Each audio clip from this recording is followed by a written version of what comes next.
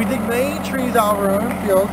Today we're digging four to five foot tall Norway spruce. This is for a job and for Christmas trees, so if people want to have a live Christmas tree that they can have in their house as a Christmas tree, and then after Christmas take it outside and plant it, we do offer that. We like those trees because we try to dig them in a smaller size tree ball so that you can move it without having like a massive root ball. It's impossible to move. So yeah, we have them here. Come out and select the ones that you like to have and we'll dig them for you. We have the machine over there. If you dig, the, you know, dig them, take the over, put them down here, and then we, we wrap them up.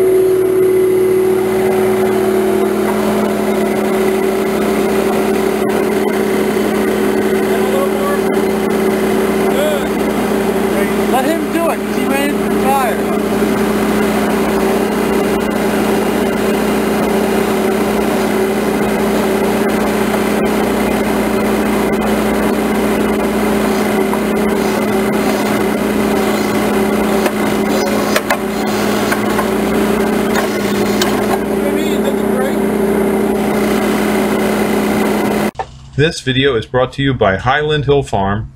We grow and sell screening and buffering trees for privacy and sound barriers.